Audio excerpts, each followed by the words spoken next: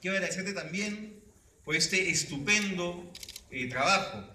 Javier de Belaunde, una trayectoria al servicio de Arequipa, es un fiel reflejo de lo que fue la vocación de servicio de mi abuelo y el inmenso amor y cariño que tuvo siempre por Arequipa.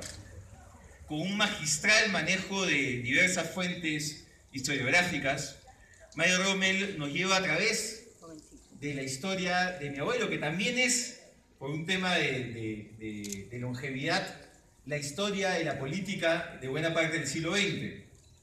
Él llega por primera vez a la Cámara de Diputados en el año 39 y se retira de la política activa el año 85.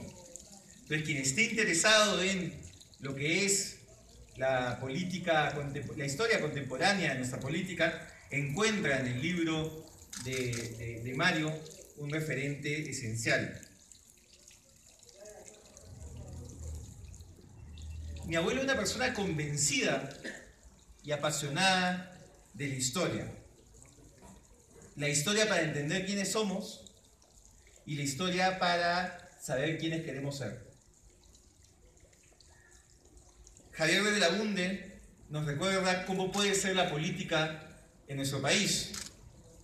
Una política ética, una política cercana al ciudadano, una política de servicio. Javier de la nos recuerda cómo puede ser un congresista,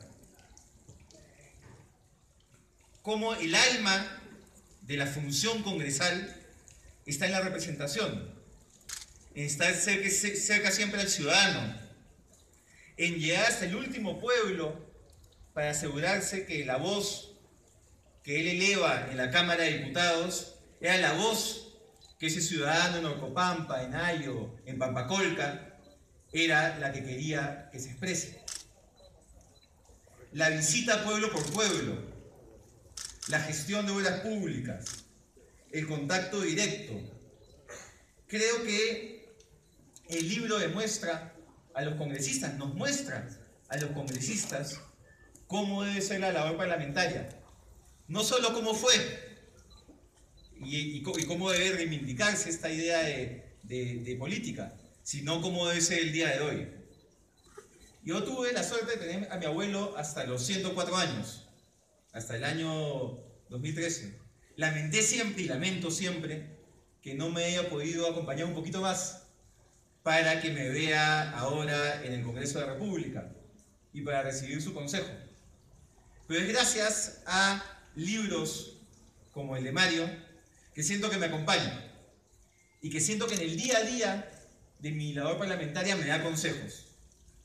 Yo espero que este ejemplo de alguien que amó profundamente a Arequipa, que amó profundamente el servicio público, inspire no solo a mí en mi labor, sino a todos y cada uno de los arequipeños y arequipeñas en las distintas funciones que les toque eh, cumplir como ciudadanos de esta región.